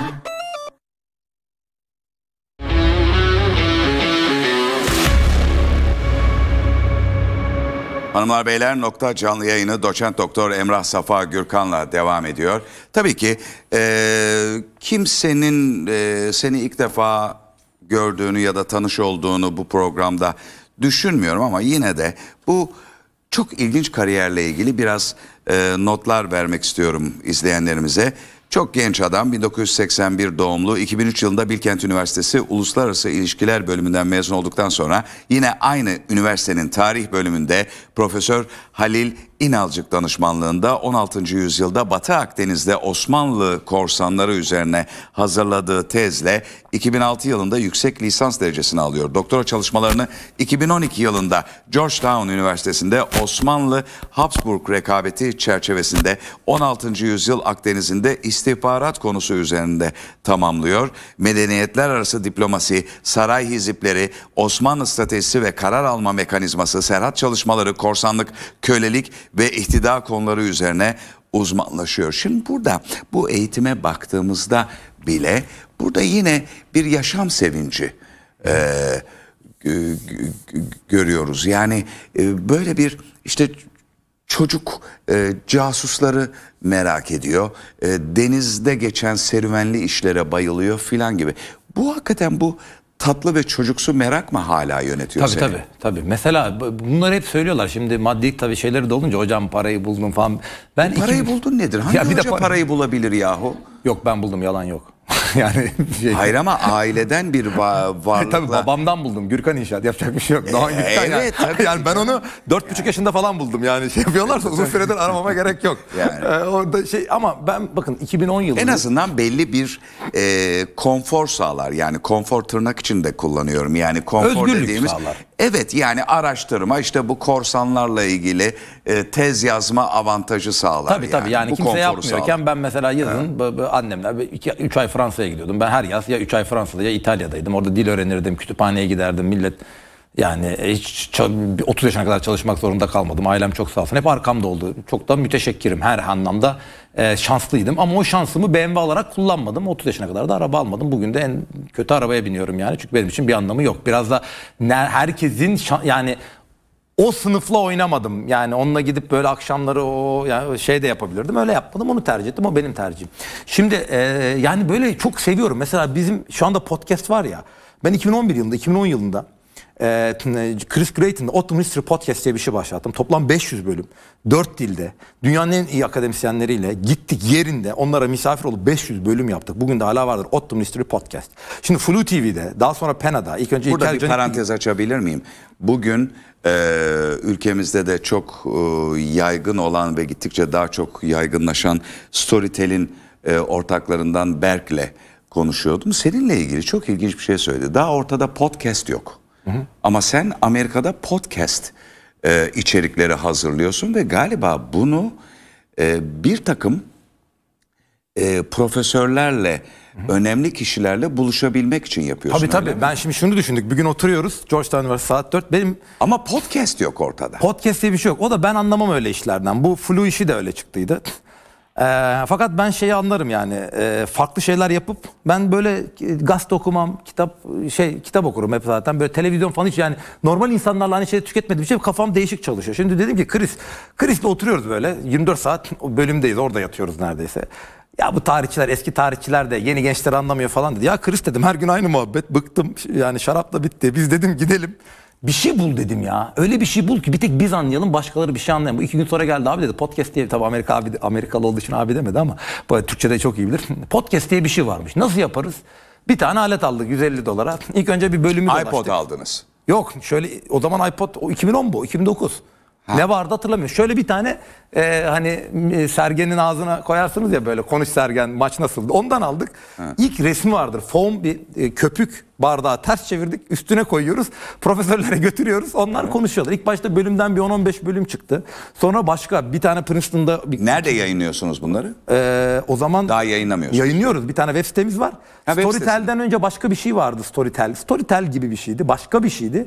Orada yayınlıyorduk. Şimdi İşte ismi Amazon'unki. Sound bir şeydi. SoundCloud. SoundCloud'da yayınlıyorduk. Ee, o zaman daha böyle burada falan yok. İnternetten giriyorsunuz hatta. Çoğunluk oradan geliyordu. Sonra işte New York'ta bir tane açtık. Ben işte İspanya'ya gidince orada yaptım. Paris'te bir tane oldu. İngilizce, Fransızca, bir tanesi İspanyolca, bir tane onu da ben yapmıştım. Da yaparak ee, sonra ona harita sitesi açtık, onu yaptık, bunu yaptık. Chris hala uğraşıyor, ben artık uğraşamıyorum. Hakikaten o kadar zaman verdik ve cebimizden para da harcadık ki doktor öğrencisinin çok parası olmaz. Ee, bize teklif de geldi, satmadık da, e, sponsor da almadık. 500. bölümüne geliyor ve mesela şey diyorlar yani denk geldi patladı. Değil ben yüzlerce insanla röportaj yapmıştım. Peki bu bir işe yaradı mı bu tanışıklıklar filan? Ya Türkiye'ye gelince hiçbir işe yaramadı. Ama şeye yaradı. İşte şeye çıkınca, YouTube'a çıkınca o tecrübe yaradı. İki tane şey vardı. Bir Otum Mystery Podcast, bir de babam benim 5-6 yaşındayken oturup karşısına röportaj yapardı sürekli. Mesela 6 yaşındaydım, ben de olanları yaparım. E, NATO'dan, NATO, sence NATO'dan çıkmalı mıyız falan. Ben atıyorum böyle. Yani ben kamerayı unutabiliyorum. Peki O kamerayı unutabilmek için o yani şunu konuşmanız lazım. Bir de yabancı dil konuşmak özellikle telefonda falan çok zordur ya. İnsanın yabancılaştırmasını gerektirir. Onun da katkısı olduğunu hissediyorum. Peki çocukların biri e, Allah bağışlasın bir onlu yaşlarda bir kızın bir de beşli yaşlarda bir e, oğlun var ve e, o ikisiyle güzel vakit geçiriyorsun. Ben de hiç sosyal medyanın işte aile fotoğrafları görme tarafında yokum. E, fotoğrafları da koyuyorsun e, galiba. Bir de eşin var. E, bana biraz anlatır mısın onları? Yani e, mesela çocuklar e, nasıl normal çocuklar mı yoksa süper zeka tipler mi böyle bir babadan e, geldikleri için ya da eşin e, Gece seni kafana bir şey vurarak mı uyutuyor? Ee, nasıl bir hayatın var? Ee, benim eşim hayatta yani ailem hep e, çok arkamda oldu. Eşim de benim için bir şanstır. Ee, ben Elif kadar e, hoşgörülü, ben çok zor bir adamım. O yüzden de benim çevremde gördüğünüz bütün insanlar ÖSYM'nin benimle beraber Bilkent Üniversitesi'ne e, yani onlar benim sınıf arkadaşı olduğu için arkadaş kurtulamıyorlar. Yani ben zor bir adamım. O zor adamı çok güzel idare etti. Hep arkamdaydı. Biz bir gün hiç ben eşimden bir çocuklara karşı hiç sinirlendiğini görmedim ki bizim evde herkes e, çocuklarım da benim gibi çok enerjik, sinirli insanlar. Hakikaten hepimizi çekip çeviriyor. O anlamda çok destek olduğunu görüyorum. Kendi de çok başarılı biri. Mesela e, bu Mall of İstanbul'u falan yapan mimarlardan biri. Fenerbahçe Ülker Arena'yı falan yapanlardan biri. Eşim biz Amerika'da tanışmıştık. E, kendi hem yani hem o kadar iyi bir anne olup hem o kadar iyi bir eş olup hem o kadar iyi bir e, de kariyeri de götürebilmesi benden daha başarılıdır aslında. Ben işte er, Türk erkeği olduğum için öne çıkayım diye neler yapıyorum yani baktık. 2019'a Ama kadar bunlar- hanım daha başarılıydı. E, ama hanımefendi de demek ki bu kadar e, işin arasında e, bir de bu toleransı göster. Ama tolerans mı gösteriyor? Onu da bilmiyorum. Yo Belki çok e, şey yani onun ailesi de öyledir. Çok olgundur. E, Ben o kadar değilim olgun yani. Ben trafikte falan sinirlenebiliyorum mesela. Sinirlenmez. Hep destek olur. Çok sadıktır dediğim gibi ve e, biz çok ama bir şey Ama yaptık. her ne kadar popüler bir iş, popüler e, dünya artık bu e, akademisyenleri de tüketiyorsa da sen de eve e, şöhretini kaybetmekte olan bir popstar olarak dönmüyorsun yani sinirliyim falan diye bir hal Yok hayır yani. öyle sinirli değil. Mesela be- sıra beklerken falan sinirleniyorum. Ben beklemeyi sevmem. Ya da biri gelip bana böyle ya çok saçma bir şey söyledim falan. Yok e- eşime sinirlenmiyorum zaten ama genel anlamda ben e, şey biri değilim yani. Saçma Peki bir akademisyen olarak bir popstar kadar tanınıyor olmak, ilgi görüyor olmak Hiç umurumda değil. Ben hala ben bin- 2002 yılında Ankara'ya gitseydik benim yanımda Polat'ı, Eren'i, Bengü'yü, bilin kimi görüyorsunuz. Bugün de aynı insanları görüyorsunuz. Hatta onların da bir kısmını ünlü ettim ki canım sıkılmasın diye. Ben beraber program yapıyoruz. Benim arkadaşlarım belli. Modada iki tur atarım. Ee, ofisim orada. Kozetan'da iki tur atarım. Ben oyum yani. Benden Aslında güzel bir şey değil mi? Bir kuyrukta e, kuyruğun başındaki kişiler ah Emrah Safa filan deyip de belki arkada Demet Akalın bekliyor ama onu onun yerine seni öne geçiriyorlar filan. Ha, öyle bir şey yaparlarsa geçerim sırada öne. Onda bir Tabii alışım. ay sen geçersin de bu Hayır, ülkede belli bir istemedim. değişikliğe işaret Hayır, ondan olabilir mi acaba? demedim. Yani beklemek beni sıktığı için genel anlamda tez canlılıktan böyle böyle sinirliyim derken gidip ona üstüne saldırıyorum diye böyle bir tens Mesela ben yazı yazarken odama girmezler. Ben çok hızlı yazan biriyim ve böyle çok konsantre olan biriyim. O enerji bazen yorucu. Neyi yavaş yapıyorsun hayatta? Yavaş Bir, yaptığın bir şeyi şey yavaş yapmak isterdim ama anda Hayır mesela yapıyorum. yemek yemek ya da e, Yavaş yapılması makbul bir tane iş vardır. Dediğim gibi yemek yemek yemeği de çok hızlı yerim. Her şeyi şey yaparım. Ee, ben yani keyifli bir insan değilim. Başarmayı. keyifli bir insan. Ya keyif böyle yayılmaktır ya. Ha evet evet. Yani ben, keyif- ben de öyle bir insan. Yani böyle enerjim. Ben mesela sette çok e, şeyi fark ettim. Ben e, belgesele şey için geldim. Bakayım nasıl yapıyor diye. Çünkü ben sette herkesi geriyorum. Yok Aynı şeyi ama sen çok de eğlencelisin canım. E, Ama senin setinde o. Sen de geriyorsun ama. Yani onu çok tatlı dille yapıyorsun ama Evet, ama evet, evet. Ş- o beni öyle bir rahatlattı ki ben şimdi o örneği kullanarak kimi geriyorsam Okan Bölgen de geriyor diyorum. Demek adam 25 yıldır yapıyor demek gererek yapıyorsun. Bana muhteşem oldu o. Allah Allah. Burada bir evet yapıyorum desen ben daha çok, da- ben çok mutluyum o belgeseli beraber beraber olduğumuz için. Tabii ben de ya çünkü çünkü çok rahattı. Mesela ben hiç gerilmediğim halde gelip ya geri ya çok hani e, aramızda yaş farkı ve tecrübe farkı çok bariz. Sen sahneye çıkmışsın falan.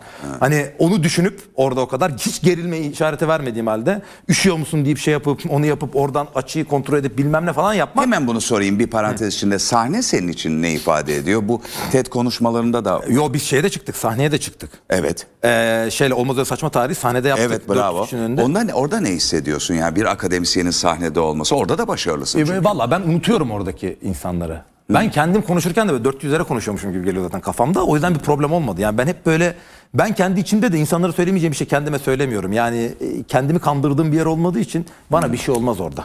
İki tane ana şey var. Kimseye bir borcum. İki ben kendime de yalan söylemiyorum. Mesela şöyle demiyorum. Şurada bir kel yok demiyorum. Çok yakışıklıyım demiyorum. İşte ne bileyim ben işte Türkiye'yi beklediği bilmem ne demediğim için orada öyle bir şey ağzımdan kaçırıp aptal gibi durma şansım yok. Ne zamandır o kendimize yalan söylediğimiz zaman? Ergenlik herhalde.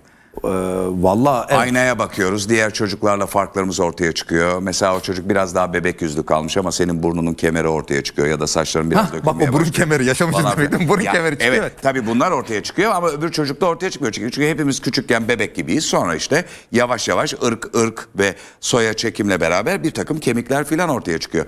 Bu orada Orada çocuklar yalan söylüyor. Ben yatılı okulda okudum. Biliyorum aynanın karşısında 20 dakika yarım saat kalıp da ulan ne yakışıklısın bu kadınlar ne yapacak seninle filan diyen herifler gördüm. 13-14 yaşında. Ama sonra da bu yalanı söylemeye devam ederlerse bir takım politikacılar gibi filan yani Trump'tan başlayarak Hı, bunu tabii, söyleyebiliriz. Yani bu korkunç bir şey. Onlar hiç ergenliği bitmemiş çocuklar herhalde değil mi? Valla şi- şimdi ötekisi çok soğuk bir yer ya. Sürekli doğru. Evet. Şimdi insanların mutlu olması için goriller gibi yaptıkları grooming diye bir şey var. Belli hormonları groom şimdi gavur şey gavurlar dedim goriller. goriller birbirlerini böyle severler, sarılırlar. Evet, o ve sırada kaşırlar galiba. Evet, bunu ha kaşımak mı? Grooming, tımar deniyor buna. Evet. İnsanlar bunu konuşarak, iltifatla yaparlar ve sembolik yaparlar. Dil buradan çıkmıştır. Dilin çıkışı budur. Bunu yapabildiği için de insanlar uygarlığı kurabilmişlerdir. Çünkü biz normal şöyle e, 150 kişilik bir dumbar sayısı dediğimiz bir grupta eğer konuşmayarak birbirimizi iyi hissettirmesek e, zamanın yüzde kırkını buna harcamamız gerekiyormuş. Evet ama bu e, keşke kaşıyarak devam etseydik demiyor musun çoğu İşte zaman? bazen diyorum 40 yaşında çünkü- olduğum için kaşı, kaşıyarak yapsak diyorum yani. Hayır bir şey de yani bir de bu konuşma ve bugün e, çok şikayet ettiğimiz bu politikli korrekt değil, bu birbirinin suratına bakarak yalan söyleme, apaçık kandırma, kandırmak için düzen kurma böyle bir şey değil mi? İnsanların aslında birbirinin yüzüne bakarak biraz da aslında telepatik, telekinezik ya da işte başka nasıl tarif ediyorsak bir takım iletişim yollarını tıkamamış mı, bitirmemiş mi o Tabii ki şimdi politik ilgili şöyle bir kural var. Bazı şeylerle barışmamız lazım. Bunu benim söylememe gerek yok. Bir, bu beyaz yakanın bir kültürü var. Bununla barışması lazım. Bir, beyaz yaka işçidir. Yani bunu bir anlaşalım. Proletaryadır. İki, bunlar e, fabrikadan... Çok çok güzel bu devam. Yani mavi yaka proleterdir sen Do you e, own the asil bir means şey of değilsin. production? Üretim araçlarına sahip misin arkadaşım? Değilsin. O zaman proletaryasın. Tanım belli ya. Sosyologlar o anlamda Marx'a dair çok iyidir. Ya. Tanım belli. Ürettiğin şey senin mi? Değil. Evet. O zaman konuşma. Proletersin. İki, e, bunların büyük bir çoğunluğu çok sert. e, normalde saklam, saklı bir baskı altında yaşıyorlar. İş yerlerinde falan filan. Merhaba Serdar Bey falan filan demeler. Yani dolayısıyla Burjuva mesela Victorian İngiltere, Charles Dickens romanları ya da oradaki bu Burjuva vardır ya böyle siyah giyinir, şey yapar, sürekli dikkat Aslında eder. bir derebeylik e, yönetim şekli değil mi? Aslında bu feodalizmin ta kendisi değil mi? Bugün şirketlerdeki davranış biçimlerinden söz ediyorum. Senin karşına herhangi bir tahlile e, sonuç çıkarmaya falan yönelmeyeceğim merak etme. Ama ben benim şirketlerin içinde gördüğüm o şirketi sevmek, şirkete inanmak, hatta şirkete tapmak. O şirket için ömrünün sonuna kadar çalışmak en sonunda bir kol saati verecekler diye bir arazi filan da vermiyorlar. Ya da beraber o arazinin sahibi olarak soylu bir şekilde bir savaşa da gitmiyorsun. Ama ben derebeylik psikolojisine benzetiyorum bunu. O şirketi sevmek, inanmak, o şirkete her şeyin önüne koymak. Şirket motivasyon toplantılarından şirket ruhuna inanmalara kadar. Yani o şirketin bir dini var. O şirketin bir siyaseti var. O şirketin bir tür e, aidiyet kanunları ve kuralları var. Bu kapitalizm bile değil. Şirketler kapitalist ama uygulama ve içindeki toplumsal yaşam koşulları bana derebeylik e, düzenini hatırlatıyor. Ne düşünüyorsun bilmiyorum. Aa, şimdi konuda. o köylüler derebeylilere bu kadar bağlı değil. Onu bir kere söyleyeyim yani. Onlar arada Evet isyan, edip diyorlar. duruyorlar. Bunlar isyan da etmiyor tabii ki Ya ömrünün bu hepimizin kadar. düşürüldüğü bir konum. Evet. Buradan kişisel olarak çıkmanın yolu her zaman söylüyorum. Hak etmediğiniz bir şeyi almayın. Onun için de borçlanmayın. Yani sen Sicilya'da tatile gideceksin. Ne demek hak etmediğiniz? Ee, hak etmediğin bir şey alırsan birine ya birine borç. Mesela şöyle bir şey var. Ha, hak etmek belki problemli gelebilir. Hak etme, yo 15 bin lira e, kazanacağım diye 60 saat çalışıp... Ya paran gibi- yoksa alma anlamında Tabii değil tabii. mi? Evet. Yo onun dışında da mesela şöyle bir şey var. Diyelim ba- Cumhurbaşkanı Senfoni Orkestrası'nın başına geç deseler bana geçmem. Anlatabildim mi? Geçersem çünkü böyle konuşamam. Ama bugünlerde geçebilirsin aslında. Bu, bu yani, evet, Bugünlerde olabilir. geçebilirsin. Ya Yani o görev sana verildiyse geçip hatta yönetmeye bile kalkabilirsin. Ben yani. geçmem ya. Bir denersin yönetmeyi. Ha, Biraz kendi- elini oynatırsın. Ya zaten dediğim gibi onu oynatmaksa mevzu oynatırız da hani onun bir şeyi de var değil mi? Hatta sen onu öğrenirsin, çalışırsın nasıl oynatılıyormuş diye en güzel Yok, bir onu şekilde işte de yönetirsin. orada Yok, önemli olan- Birçok mevkide böyle insanlar var yani. Yapar mısın? Yaparım. Ya sonuçta bu e, e, liyakat diye bir şey var değil mi? Liyakat. Bir de sadakat var. Şimdi liyakat, sadakat, itaat diye bir şey var mı? O da var galiba. Yani liyakat, sadakat, itaat. Ama itaatten söz etmeyiz genelde. Liyakattan ve sadakattan söz ederiz.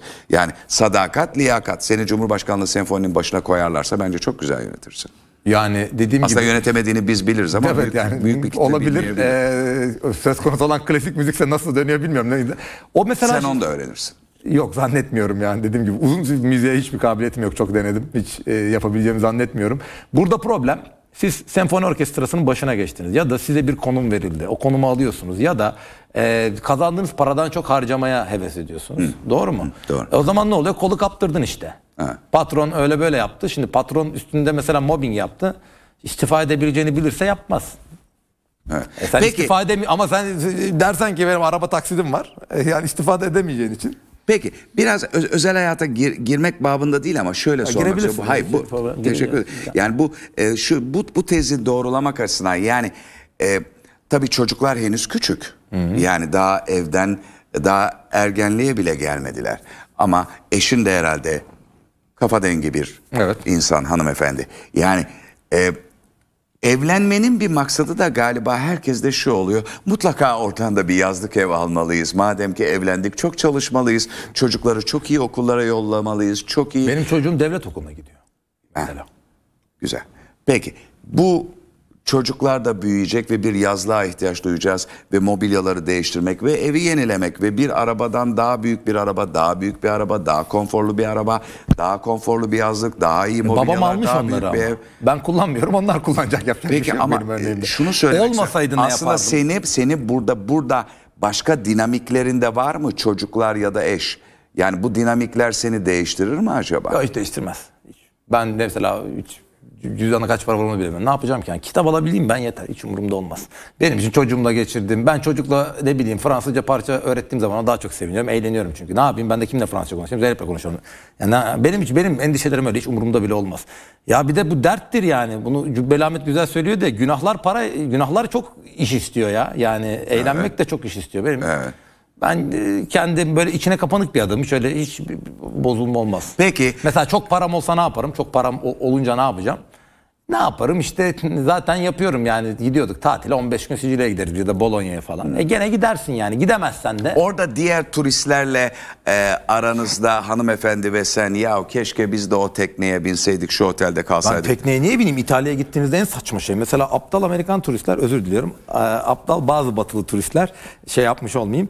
E, Venedik'te Hilton'da kalır. Şehrin dışındadır. San Marco'ya bir tane şey yaparlar. Ben Venedik'in içindeydim. Her akşam Campo Santa Margarita'da eğleniyorduk. Arkadaşlarım vardı. Ben Bolonya'ya gittim. Hemen öyle halk içinde eriyorum. Aynı Orada- fikirdeyim. Ben de Sicilya'ya gittiğimde Sicilya bir ada. Sicilya'nın bütün e, etrafı e, sularla çevrili ama hiç deniz tarafına doğru bakmadım. Gittikçe daha Sicilya'nın içlerine, Tabii, Agrigento ne kadar içlerine güzel filan, yer, içine e, girin. girmeye çalışıyorum. Yani orada ama bir herkes de bu bakış olmayabilir. Ya ben şöyle akademisyen olarak şöyle bir avantajınız oluyor. Mesela biz İtalya'ya gidiyoruz konferans için.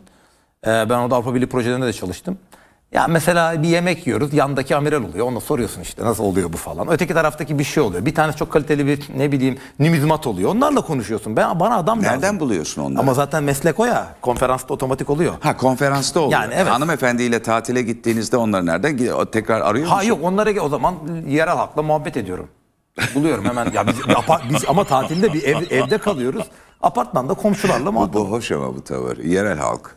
Ee, sevgilim ister misin ee, şu amiralleri falan biraz Ay, amiral biraz da bakkal yerel, falan. yerel halkla konuşalım. Kraliçenin sarayın önüne çıkması gibi yani. Hayır bakkal falan oluyor ya. Ya Sicilya'da bakkalla muhabbet ediyorsun işte. Beraber atlayıp gidiyorsun geri. Bolonya'da. O var. eğlenceli. Ya O ye, e, tabii o bilmem ne işte. Gidip orada Marco'nun yerinde yiyelim falan. iki muhabbet edelim. Ne olacak ki zaten? Peki. Ee, Ottoman History Podcast'ın iki kurucu editöründen birisin. Aynı zamanda Flu TV'de e, Olmaz Öyle Saçma Tarih programını yaptın ve şimdi Flu'dan Pena'ya Bengi üçüncüyle şimdi. şeyle, Pena'ya. Bunu da mı bilmiyorsun diye bir program yapıyoruz. evet. Evet ve bunlar çok izleniyor. Evet. Bütün bu e, yaptığın şey ama e, eleştiriliyorsun da niye oradan oraya geçtin, niye şimdi bunu yaptın? E, bu da bu da tabii ki e, gösteri dünyasının bunun nasıl baktığını merak ediyorum. Çünkü aslında bu bir akademisyenin, bir kitap kurduğunun, bir yazarın e, gösteri dünyasıyla imtihanı gibi bir yandan da. Çünkü orada da seyirci psikolojisini anlamak zorunda. Yani niye yerini değiştirdin? Bir soru, so- bu soruyu soruyor. İki, hep orada durmak zorunda mısın? Yeni ne var? E, yeni ne var dediğinde bu işin içinde yer değiştirmek de var. Aa hep de aynı şeyleri konuşuyorsun. Biraz da farklı yerlerde görmek istiyoruz. E tamam gördün niye yerini değiştirdin? Ya, anlatabildim O, mi? tabii tabii o macerayı ben şeyini biliyorum. İlk çıktım beni yolda durduruyorlardı. Neden bu programı burada bununla yapıyorsun? Oradan gittim şimdi ilk başta buna da böyle başladılar. Şimdi çok alıştılar. Yarın bitir, bitireceğiz. Yani bir gün bitecek o. Ee, ilk sezonu 10 bölüm e, şey yapmıştık. Niye bıraktın? Tekrar başlayınca gene aynı şeyin başlıyor. Şimdi Problem rakamlar şimdi 300 bin 400 bin kişi izliyor o programı. Evet. E ondan 3 kişi öyle yazıyor. 20 kişi yazıyor ya alta. Evet. O 20 kişiye aldanıyorsun. Başka bir şey yapıyorsun. Sonra 30 kişi de tam tersini yazıyor. Ee, yapacak bir şey yok. Orada dediğim gibi ben eğlenmeliyim. Çünkü bakın şuraya e, yani sen de biliyorsun bunu. Şuraya koyduğum zaman senin pozitif ya da çok dikkatli olman lazım. Sen buraya e, uykulu gelemezsin. Ben bir de böyle tek başıma orada böyle çok eğlence şu enerjiyi toplayabilmem için ben mesela yemek yemeden geldim buraya. Çünkü yemek yersem böyle mayışırım. Mayışınca sinirli olabilirim. Ben yani fiziksel olarak e, nasıl şeyler viski içip çıkarmış. Ben de hiçbir şey yemeden çıkarım. Kimler viski içip E, çıkarmış? operaya viski içip çıkarlar bu, bu ses telleri e, şey olsun diye. Enrico Caruso'nun filminde görmüştüm bilmiyorum belki de yanlıştır yani. Ama bizim operacılar yapmaz öyle şeyler. Niye? Onlar yapıyor. Bilmiyorum viski E, onlar, alamıyorlardır evet. vergiden dolayı ondan olabilir yani. Ee, şey e, şunu söylemek istiyorum bizim e, yani orada eğlenceli bir şey yapıyoruz. Benim karşımdakinin çok eğlenceli olması lazım. Bunu bir arkadaş hissiyle yapan biri olması Ne lazım. demiştin onu programdan önce söylemiştin. Ha, programda söylemedin. Ne o? Programda söylemedi galiba değil mi? E, ciddi işler. Ha, Josef von Hammer'in benim Kemal Bey'den duyduğum bir. Programdan önce söylemiştin. Evet, evet. Şimdi ilk defa burada mi? Eğlenceli Yanım- işi büyük bir ciddiyetle, ciddi işi de eğlenerek yapın. Bu çok güzel bir düstur yahu. Evet. Yani Hammer de öyle biridir. Ee, Josef von Hammer'in ünlü Alman müsteşrik yani oryantalist yani doğu çalışmaları yapan Hammer'in meşhur demek lafı. müsteşrik? Müsteşrik şarkçı. Ne kadar zor bir kelime. O Osmanlıca'da bunları da mesela bakın bu gitmiş bir gelenekte çok basit. Şark var ya. Evet. Şarktan isteş, müsteşrik yapıyor. İçinde şRK var. O üçten mesela haber var ya. Evet. Haberden muhbir de oradan Evet. gelir. Muhabere de oradan gelir ya. Bu şRK dil dönmediği için müsteşrik, şarklandıran. Kitap, kütüp, kütüphane Kütüphane gibi. Ya da ketebe ama gibi. Bu Evet. ama bizim dilimizde de tabii ki dil, dil, vokabüler, bütün bu e, kelime haznesi çok önemli. Beni çok bütün ka- tabii. kavramsal yani kavramsal konuşma dediğimiz zaman aslında bir televizyon programında bir tartışma programında bakıyorsun iki adam aynı şeyi söylüyor sadece kavram kargaşası var ya da onun e, tanımladığı gibi doğru tanımlıyorsa o diğeri yanlış tanımlıyor. O kavramın tanımı kafalarında yanlış.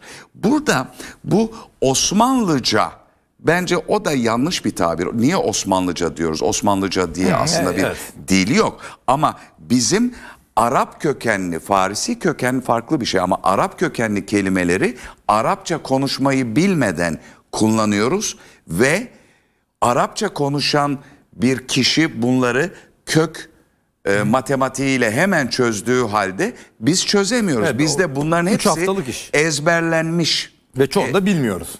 E, bilmiyoruz. Mesela ben de bazen bilmiyorum, kökünden çıkarıyorum.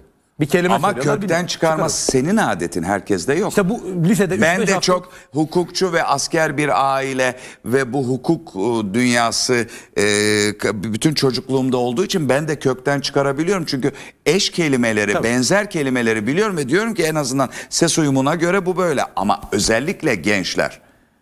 İşte bu lisede 3-5 ya bir kur Osmanlıca genel ama böyle Osmanlıca okuyacağım da arşiv değil. Ama bunun lazım. öğretilmesi çok önemli. Tabii yani- Öğretilmesi lazım. Eğer bu kök matematiği ne diyorsun? Ben atıyor. Baplar diyoruz bunlara. evet. Baplar mı diyoruz? Yani babı mesela işte haberi muhbir yapıyorsun. Evet, İşte evet. ihbar, ihbar yansıtanı oluyor falan. Evet. Ya mesela müteferrik diye bir şey. Ben Hakkı abiyle rahmetli Hakkı Ha, evet, Devrim'le program yaptığım sürece ben bunu hep çözebildim onun sayesinde. O bana diyordu ki çok basit işte bu böyle bu bunun kökünden bu bilmem ne filan.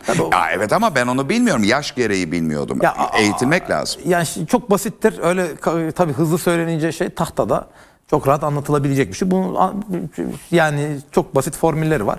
Ee, bazen kelime geliyor ben de bilmiyorum. O zaman ben de düşünüyorum, tahmin ediyorum yani. Biz de her Osmanlıca kelimeyi e, bilmek durumunda değiliz. Bunu şimdi e, Ama bugün bugünlerde yani bilimin, siyasetin bu kadar popülerleştiği ve herkesin tartıştığı en azından biraz önce senin de bahsettiğin gibi bir laf söyleme hakkı kendine bulduğu bir yerde o tartışmanın daha akılcı, daha zekice, daha iyimser ya da daha barışçıl olması için bu kavram kargaşalarının ortadan kalkması gerekmez. Bir tane daha şey lazım onun için. Biz bunu mesela Bilkent'te almıştık. Boğaziçi mezunlarında da vardır bu. 3-4 tane discussion grup, tartışma grubu. Ben çok 2000 yılında hatırlıyorum. O zaman 28 Şubat dönemi. Çok da böyle dindar arkadaşlarımız da var. Mesela Tanrı var mı yok mu felsefe dersinde tartışıyorsun. Hadi bakalım.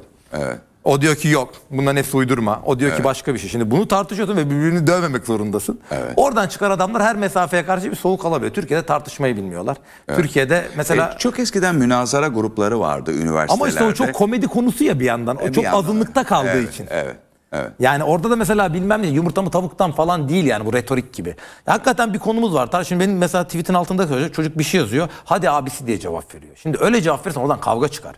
Biz en son söylenecek şeyi ilk söyleyen bir milletiz. Ya bir dur oraya kadar gelmedik yani. Önce bir bir anlamaya çalış. Yanılmaz. Mesela bu şeyde de var ya bir adam başlıyor diyelim sizin bir şeyinizi alıyor. O dönemde böyle demiş, şunu demiş. Şunu. Mesela şöyle bir insan var Türkiye'de. Politik her konuda 20 yıldır haklı olduğuna inanan insanlar var. Sor mesela. Ya şunu kendinize sorun. Ben hiç mi yanlış yapmadım?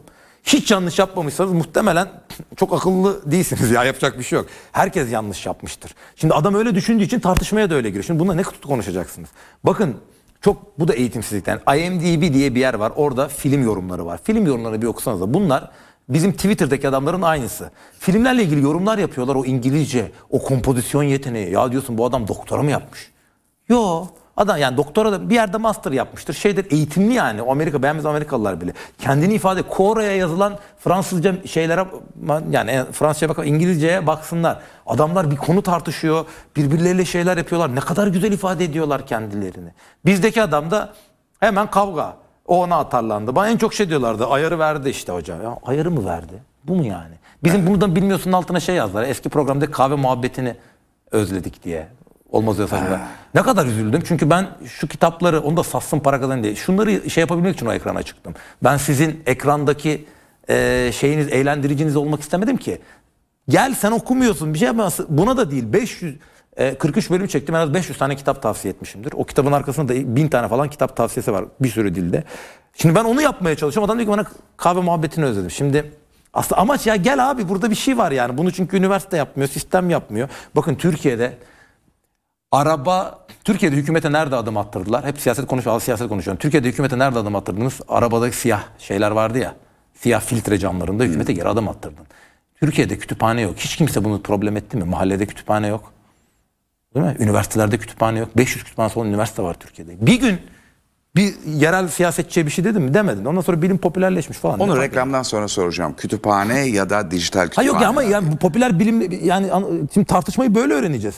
Yani Evet bu- bir de bu yani bir de tabii buna bir heves de var bir yandan da yani e, bilmeye, öğrenmeye, enformasyona daha büyük bir ihtiyaç varmış gibi görünüyor en azından. Bir şeyin ne kadar adı varsa kendisi o kadar yoktur. Burası Türkiye. Başka hiçbir Aa. şey söylemeyeyim. Yani bir Aa. şeyin ismi sürekli söyleniyorsa kendisi yoktur. söyleniyor. İnformasyon bilmem ne falan. Yani şeyini göreceksiniz. Bu kitap okumakla çözülür. Roman okuyan insan salt kötülerle salt iyilere inanmaz. Türkiye'de herkes salt kötüler, salt iyilere inanıyor. Hainlerle kahramandır. Çok Niye? Roman bile okumuyorlar. Peki. Kısa reklam arası hemen dönüyoruz.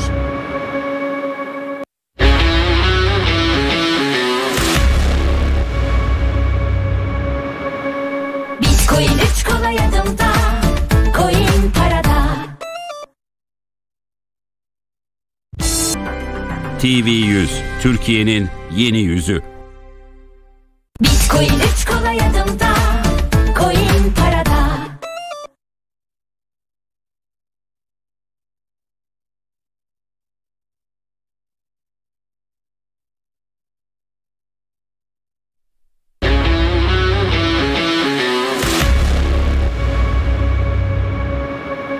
Hanımlar beyler nokta canlı yayına Emrah Safa Gürkan'la devam ediyor. Çok fazla vaktimiz yok hemen hemen bir 15 dakikamız olduğu için bazı soruları hızla soruyorum. Merak ettiğim soruları hangi tarihte yaşamak isterdin? Bugün yaşama 2020 moda çok güzel. Çünkü... Yapma yahu, her şey ya yolunda eskiden bunu şeyde söyledim. Eskiden ya şofben yok. Kırkında ellinde ölüyorsun. Niye Chopin'i yeni bulmuş gibi Chopin yok diyorsun? Yani yani 100 yıl öncesine kadar Ama yoktu. Chopin bu kadar mutlu eden bir şey mi seni? E yani evet bir yıkanmak lazım ya sürekli koşturan terleyen e, şofben yok aşı yok ya buzdolabı ya buzdolabı yok buzdolabı olmasa kadınların işi bitik zaten çok söyleyeyim evde böyle 15 tane çocukla otururdunuz o yüzden ben bunu ilk, e, gene bu ekranlarda söyledim herhalde. Ama tarih olarak çok mu geriye gidiyorsun? Mesela 21. yüzyıl. Ha, 60'larda 70'lerde yaşananlar batıda yürümüş ama bizde en güzel dönem 80'ler. Hmm. Benim babam var maaşlarla 2-3 ev almış. Abi ben 5 tane iş yapıyorum. Kim o maaşlarla 2-3 Yani yıl almış? 80'lerde insanlar böyle özel sektörde çalışıyorsa 2-3 ev alıyorlardı yani. Taksitli. Tabii tabii yani 45-50 yaşında hani erken çalışıyorlardı. Güzel İngilizce de bilme, bilgisayar da bilme. Ben babam hep yüzde çalıştı yani öyle bilgisayar da çok bilmiyordu. Üniversiteden mezun olmuş gide geri 6 yıl sene babam beni öldürecek şimdi. Neyse Mesut'u aldığımız için bu ara babamın endeksi sinir endeksi Fenerbahçe'ye göre endekslenen bir şey olduğu için. Evet benim babamın da öyle. Ya ama bizimki maç kalınca bir arayıp beni fırçalıyor. Sanki ben çalıştırıyorum takımı yani. Evet Dolayısıyla- benimki arayıp beni fırçalamıyor. Artık. Peki mutlu musun?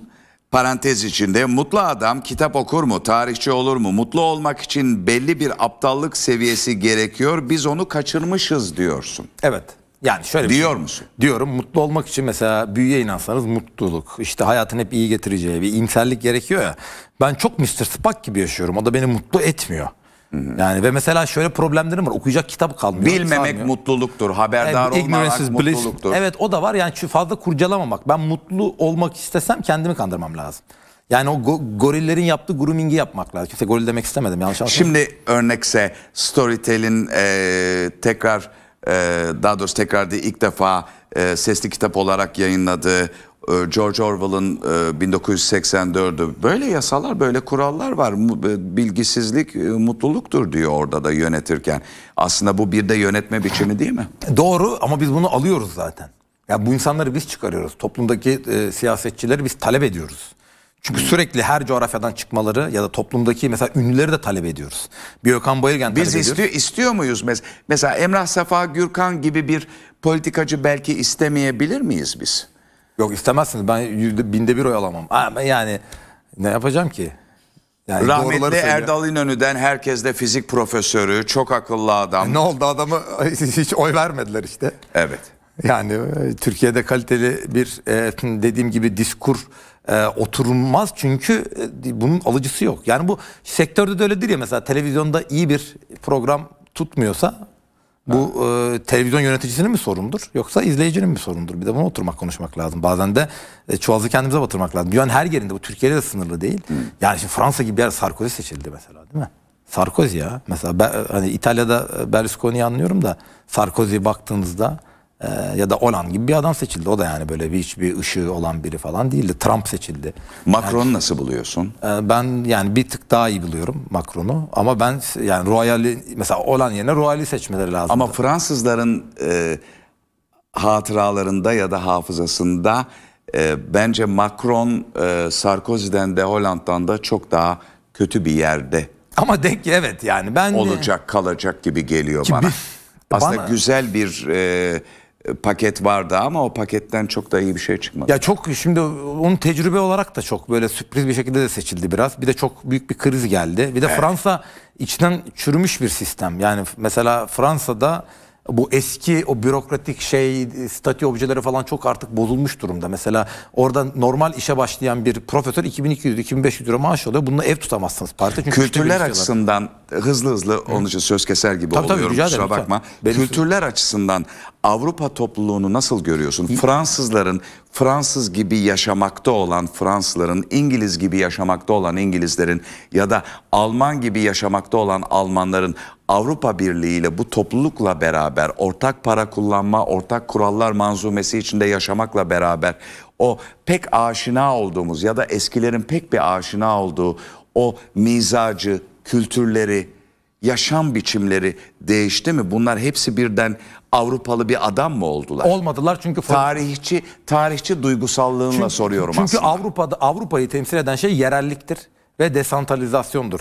Fransa en merkezi ülkede bile 1950 yılında e, Breton'da e, bir e, şey Bourdieu'nun kitabı öyle açılır. E, şey konuşuyor. E, Fransızca kadar kendi lisanı da konuşuyor. 1918 yılında İtalyan askerleri güney ku- kuzey birbirini anlamıyordu. Yani burada yerellik çok güçlüdür. Önce modern alısınızdır, Venediklisinizdir. Ne ona Breton diye bir şey Evet konuşuyorlar. yani değil mi? konuşuyorlar ya da çok güzel bir film var. Jean, e, Manon de Source ve Jean de, Jean de Floret diye çok güzel Claude Chabrol'un iki film vardır. Orada konuşulan şey mesela e, Languedoc dediğimiz e, Güney Fransızcasıdır. Hiçbir şey anlaşılmaz. Şimdi bunu köylerde konuşuyorlardı. Buraların çok hani o peynir çeşitleriyle beraber adlandırılmış yerel kültürleri vardır. Bunları e, Amerika gibi düşünemeyiz. Orada göçmenler gelip sistemi böyle laçkalaştırıp kendi bir e, mesklaj, bir e, bir batardize bir olmuş diyorum. kültürel erozyon mu oluştu? Batardizasyon diyorum. Türkçesini söylememek evet, için ama e, onun ne olduğunu biliyorlar. Bir gayrimeşru çocuklaşma geçiği. Bir o- Amerikan kültürü oluştu. Amerikan özüyle. Bununla ilgili Closing of the American Mind diye bir şey var. Amerika Amerika yapan kültürün de çok değişik bir yerinde olduğunu bir biri 80'lerde bestseller bir kitapta da yazdı. Amerikan zihninin kapatı, kapanması diye. O kültür de Rockefeller'ların fırsatçı kültüründen bambaşka bir yere gitti. Şimdi Peki aslında biz bunu aramamalı mıyız bugünün e, dijital e, dünyasında modern tırnak içine modern diyorum dünyasında aslında biraz yaşlı işi bir şey değil mi? Peynirin, şarabın, biranın e, ya da e, o e, Belçika'da kesilmiş kuzunun tadını sevmek ya da Yok ya nereye gideceğiz? Aramamız lazım. Yoksa Çin gibi olursa Çin'de mesela devlet getiriyor her şey. ama Çin gibi oluyoruz zaten. Evet de şimdi şöyle. Herkes Çin gibi olacak zaten. Nüfusla beraber başka çare kalmayacak. Aslında tekrar Orwell 1984 meselesine geliyoruz. Yani Big Brother'ın aslında orada bahsedilen bıyıklı adam değil de Big Brother'ın aslında yanımızdan Tabii eksik etmediğimiz işte e, böyle birkaç metre uzaklaşsak "Aa, aa, orada kaldı. Aa, telefonum diyeceğimiz bir hale geldik aslında. Asıl Big Brother o. Şimdi bu WhatsApp'tan kaçış onu da sormak istiyorum. Bu WhatsApp'tan kaçış en azından benim e, beni içine almış olan işte e, mektep anneleri, eski mezunlar falan filan gibi WhatsApp gruplarından buradan nereye kaçıyoruz, buradan nereye kaçıyoruz? tartışmaları 3 gün devam ettikten sonra ilk ayrılıklar başladı ve ilk silinen numaralarla beraber hani WhatsApp'taki falan numara ayrıldığıyla beraber ben ben o kendini denize attı sandım. Ve herkes öyle bir tepki göz ana bu atladı mı yani oradan? ya bir yere atlamadı. O hani siz konuştunuz ya işte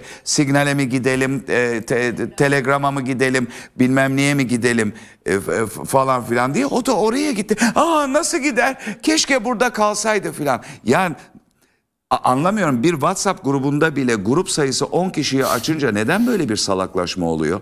Yani toplumlar çoğaldıkça insan Toplumu- nüfus arttıkça salaklaşmak zorundalar. Evet. Çünkü vasat zaten ortalama demek. Ortalama yapacak kadar İngilizce quorum dediğimiz işte bize de cami cemaatine oluşacak sayıya ulaştığınız zaman hadi onu 2 ile katalım 6-10 kişi falan ortalama bir yerde buluşunuz. Yani 20 kişilik bir mesela e, istatistik mesela bir parayı 10 kere havaya atın 8 kere yazı gelebilir. 1000 kere atarsanız 499'a 501 gibi gelir ya. Sayı arttıkça ortalamaya geliyor. Ee, Carlo Cipolla'nın çok güzel bir kitabı vardır. Ee, Allegro Manon Troppo diye sıra dışı öyküler diye Tarif Yurtları'ndan da basıldı. Orada bir şey Bir var. söyle, özür dilerim. Allegro Manon, Manon Troppo. Bir, o şey- Sanki o dilde okuyacakmışım gibi Hayır sorayım. piyano şeylerinde var ya. Ha, ha. Onu vermiş. Türkçesi sıra dışı öyküler olması lazım. Kısa bir kitap. Carlo Cipolla. Şimdi burada şunu diyor. e, Üniversitede anket yapıyorlar. E, üniversitedeki ortalama zeka da normal halkla aynı çıkıyor. Bütün ama profesörleri, öğrencileri, idarecileri ve e, bir başka bir şey daha ölçüyorlar. Yani insanların 50 kişi bir araya geldiği zaman zekalar ortalama e, hep aynıdır. Orada metotla oradan ayrılabilirsin. Dolayısıyla 10 kişilik bir WhatsApp grubunda da böyle 10 tane cins falan bir araya gelmez. Zaten çok zeki adam 10 tane WhatsApp'ta bir araya niye gelsin yani o kadar zekilerse bir icat yapmak için falan. Evet başka bir lazım. nedenle buluşuyor. Süremiz bitti galiba değil mi? Peki Emrah Safa Gürkan'la harikulade vakit geçirdik. Evet. Hakikaten bir buçuk saat göz açıp kapayıncaya geçti. e, kadar geçti. Harikuladesin. E, kitaplar da çok güzel. Bunu e, bunu herkes biliyormuş zaten. Bunu almanıza gerek yok. E, bunu bu çok e, tahrik edici e, eğlence ve merak açısından ve bunu hakikaten roman gibi görünüyor ama bir tarih kitabı. Tabii o üçü, evet. yani e, 2000 tane dipnotu var biraz ağır. Evet. ağır kitabım müthiş oldu. müthiş müthiş. Harikasın tekrar bir arada olalım lütfen. Evet, lütfen. Pekala. Haftaya buluşmak üzere hoşçakalın.